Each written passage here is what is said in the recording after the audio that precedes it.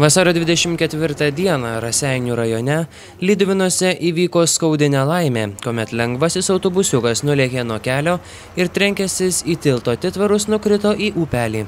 Į įvykio vietą atskubėję gelbėtojai iš vandens ištempė autobusiuką ir pradėjo gelbėti žmonės. Iš viso autobusiuke buvo penki žmonės, tarp kurių ir du maži vaikai.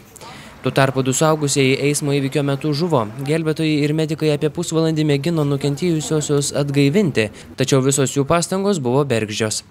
14 valandų 20 minučių medikai konstatavo priekyje sėdėjusių ir prispaustų vyriškių vairuotojo ir keleivio mirtį.